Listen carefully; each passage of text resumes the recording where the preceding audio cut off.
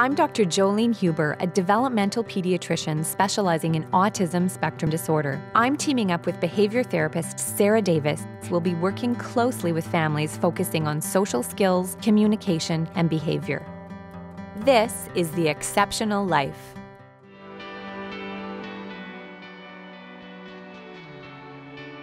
How old is Tomas now? Tomas is eight, he'll be nine in August. Okay. Yeah. What would you say his strengths are? His strengths are he really wants to make people laugh. So he likes to try and find a way to make you laugh or smile or giggle. He has no malicious intent. He's, he's, he always wants to be kind. And his strengths are like just mathematics and the strategy and the logic of some things he can really grasp. And he was really good at letters and numbers at a young age? Really good at letters and numbers at a young age. Like he wouldn't, he'd pull himself up on one of those easels and he could write words and letters and numbers. Before he could talk? Oh, absolutely, well before. Yeah. The first way he could talk was through music, I would say. Because he would sing? He would sing a song. So if it was snowing, he'd go outside and say, Frosty the Snowman. And I'd be like, yes, it's snowing. So he would associate songs with this things, things that yeah. he was trying to communicate. Yeah, Oh. it's interesting. So if you had to kind of think of autism spectrum disorders in sort of three really big general boxes like communication, social skills, Yeah. and behavior. If you kind of think of those three areas, what, Mm-hmm. what are some of the things that you'd like to work on with Tomas?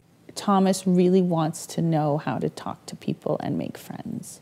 So he's learned some skills. Um, so we're not at an entry level, but it's that next phase of like, okay, I want to talk to this kid at the playground. We started to play. Now what do I do so I'm not the weird kid? You can see it in his face where he's like, he'll try and ask a question, and if somebody doesn't answer it, he's like, oh, I, I don't know what to do now. Like, Right.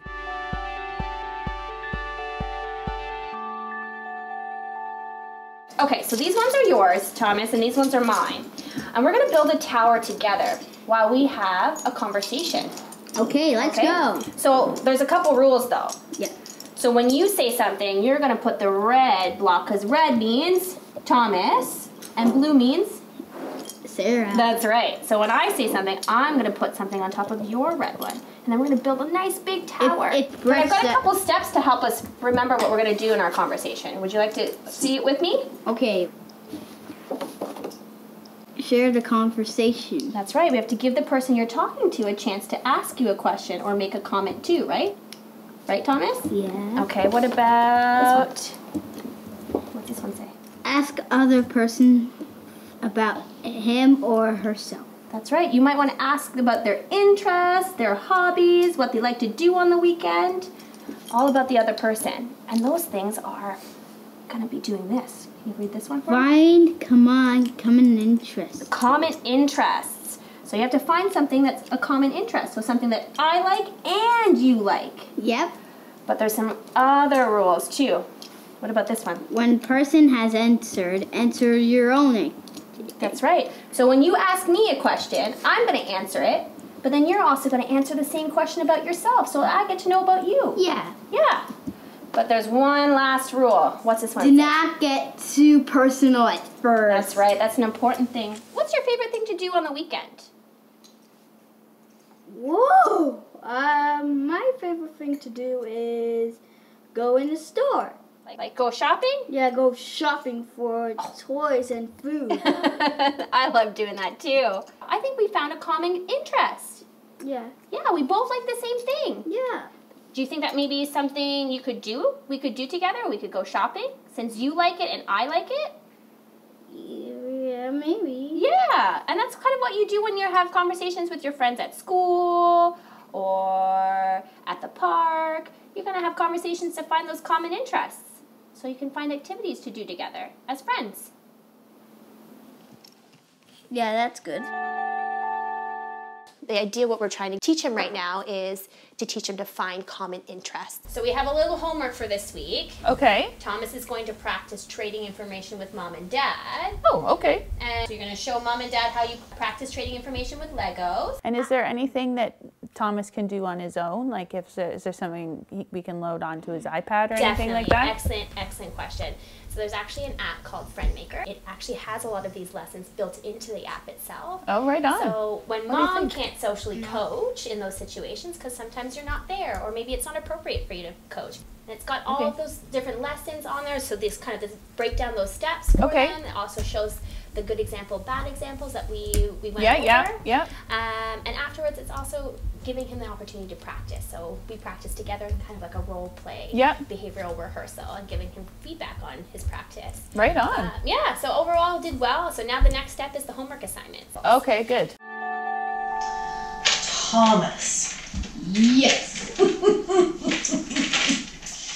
If you could go on a hike anywhere, a hike or walk, where would you go and who would you go with?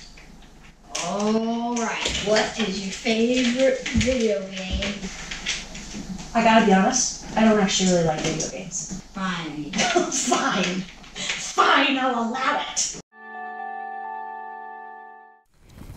So, how's Tomas doing overall since we've last checked in with you? Tomas is doing awesome. He's in a really good place. Just tell us some of his successes. He's definitely a lot less hesitant to go up to other people. So he's learned some icebreakers in the park and stuff like that. His resilience has gone up a lot. So, how have his conversations been playing into that, the friendship building? He can read people a little bit better. He is careful about topics. So he'll think about who he's going to see and think about something that he might like. For example, he loves to tell jokes.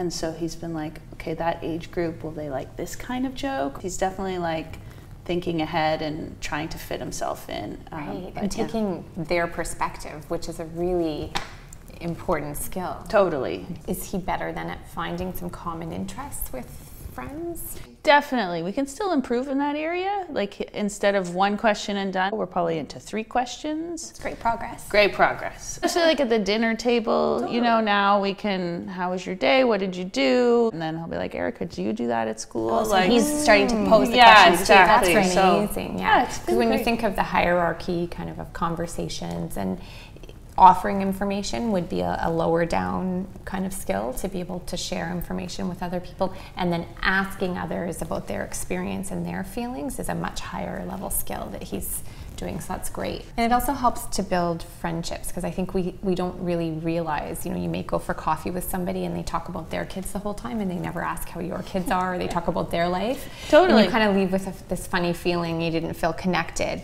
and um, it's because they never asked you any questions. And so kids don't necessarily think through that, but they feel that. Mm-hmm. And so, is it helping uh, him to make some friendships? He's made year? some friends this year. I think the difference is now he's doing with kids his own age. Yeah. He never had problems doing it with older kids or with younger kids. It was Mm-hmm. Right. Mm-hmm. his peers that were a challenge. So I think we've narrowed the age.